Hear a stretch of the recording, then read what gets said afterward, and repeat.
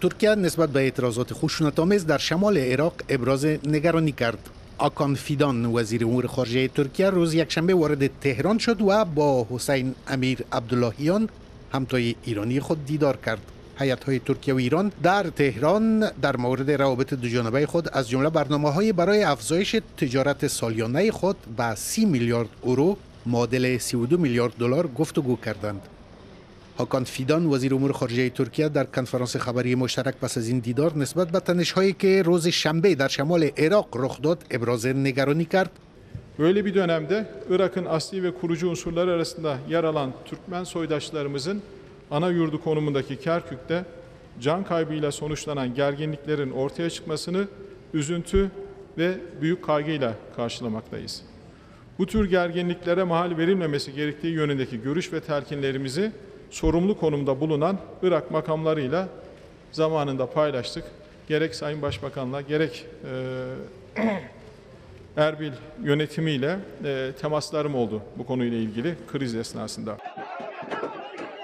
با گفته شاهدان و مقامات محلی اعتراضات در کرکوک در مورد تحویل یک مرکز کلیدی توسط مقامات فدرال به مقامات محلی کرد روز شنبه و خشونت کشید و به گفته شاهدان و مقامات محلی حداقل سه نفر کشته و تعداد زخمی بر جای گذاشت درگیری ها بر سر برنامه های برای انتقال مقر پلیس فدرال عراق به حزب دموکرات کرد در این شهر که محل سکونت جمعیت مختلط از کردها، عربها و ترکمنها است روی داد.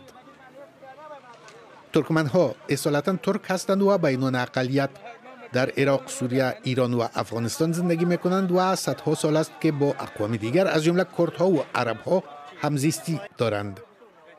نیروهای فدرال عراق کرکوک و میدانهای نفتی اطراف آن را در اکتبر 2017 پس از برگزاری یک همهپرسی نمادین اما بحث برانگیز در مورد استقلال کردستان توسط مقامات اقلیم کردستان تصرف کردند. سپس حزب دموکرات کردستان مقر خود را در شهر ترک کرد. توافق برای تشکیل دولت فیلی در زمان نخست وزیری محمد شیع السودانی شامل شرطی برای بازگشت حزب دموکرات کردستان به استان بود. فیدان بار دیگر درخواست خود را از بغداد برای پایان دادن به حزب جدایی طلب کارگران کرد یا پکک که در شمال عراق فعالیت می کند و در گذشته آن را دشمن ترکیه و عراق خوانده بود تکرار کرد. Bu çerçevede şehirde son dönemde artış gösteren PKK mevcudiyetine de süratle son verilmesini Irak makamlarından talep ediyoruz. Kerkük yakın zamanda büyük acılar ve katliamlar yaşamış kadim bir şehirdir. bu şehirdeki hassas toplumsal dengelerin korunması, temsil ve idarede tüm toplumsal kesimlere eşit söz hakkı verilmesi gerektiğini değerlendirmekteyiz. Bu çerçevede şehirde tüm kesimlerin eşit bir şekilde temsilinin sağlanması ve idareye katılımını da uzun zamandır biliyorsunuz bu formülü destekliyoruz.